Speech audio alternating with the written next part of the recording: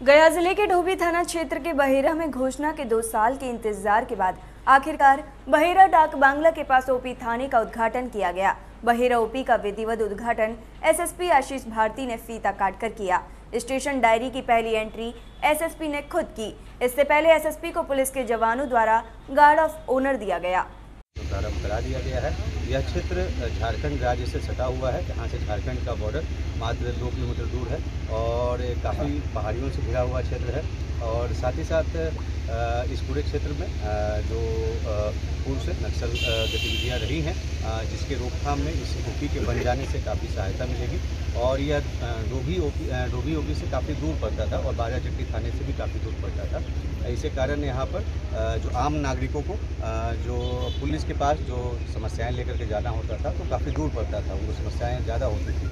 इस कारण यहाँ पर ओपी बनाया गया है कि उनको जो समस्याओं का निराकरण त्वरित गति से किया जा सके। और इसमें डोबी ओपी के दो पंचायत हैं और बाराचट्टी थाना का एक पंचायत है। तो टोटल कुल तीन पंचायत का यह ओपी है। और यह एक बहुत ही स्ट्रैटेजिक लोकेशन पे है और पूर्ण शराबबंदी को सख्ती से लागू कराने के लिए और नक्सल गतिविधियों पर लगाम लगाने के लिए और इस पूरे ऊपी क्षेत्र में जो सुरक्षा व्यवस्था को बेहतर बनाने में यह काफ़ी प्रभावकारी होगा। और मैं यहाँ के आम नागरिकों से निवेदन करना चाहूँगा कि वो इसमें सहयोग करें और आसूचना का शेयर करें। और मैं अपनी तरफ़ से आश्वस्त करना चाहूँगा कि हम लोग सभी इस क्षेत्र के वासियों को एक बेहतर सुरक्षा व्यवस्था सुनिश्चित करेंगे और उनको बेहतर सेवा देंगे।